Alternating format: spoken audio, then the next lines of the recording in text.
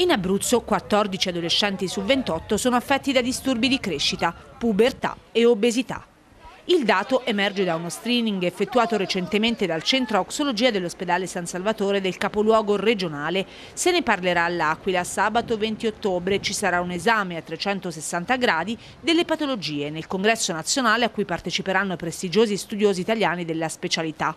Tra gli altri sarà presente anche Giuseppe Chiumello, uno dei fondatori in Italia della medicina dell'adolescenza. Al centro dei lavori congressuali anche cyberbullismo e psicologia adolescenziale. I dati vengono fuori da un controllo effettuato il 19 settembre scorso all'ospedale dell'Aquila dal centro di oxologia durante visite compiute su utenti provenienti da varie province, tra cui oltre all'Aquila anche Chieti e Teramo.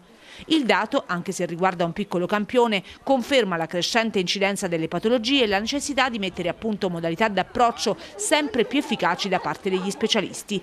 Si parlerà in modo analitico di queste specifiche problematiche sabato 20 ottobre, quindi dalle 8.30 alle 18 all'Hotel Canadian, durante il quinto congresso nazionale della Società Italiana della Medicina dell'Adolescenza. Convegno organizzato dal professor Giovanni Farello, direttore del centro di oxologia dell'ospedale dell'Aquila e dalla dottoressa Gabriella Pozzobon dell'ospedale San Raffaele di Milano, che è anche presidenza nazionale della Società di Medicina dell'Adolescenza. Il servizio di oxologia dell'ospedale dell'Aquila da gennaio a settembre dell'anno corrente ha effettuato oltre 150 controlli in day service e day hospital su deficit dell'ormone di crescita, pubertà precoce, obesità e bassa statura.